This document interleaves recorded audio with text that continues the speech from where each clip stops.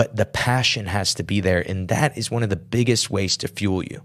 Uh, and so now let's look at kind of closing thoughts. And this is just going to tie everything back together to that initial story of how I learned to cook.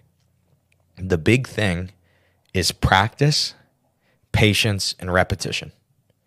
But then the also the hidden factor that I kind of threw at you guys that if you listen to the I Suck at Jiu Jitsu show, you know I talk about this constantly. And it is it is finding finding things that entertain you. Finding things that inspire you is a word that I use often. And so with jujitsu content that you watch, understand that it's you can watch YouTube jujitsu and get better at it you don't want to watch it as in like everybody that pops up on your feed is just law and he and you should you know you should be you should listen to them because they have a black belt and they're on YouTube and they get a lot of views. You don't want to do that.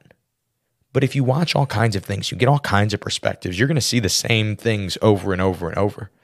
And they'll be explained differently, but you'll see the same ideas over and over and over. And when you see that, what'll happen is it will make it easier for you to get better at jujitsu.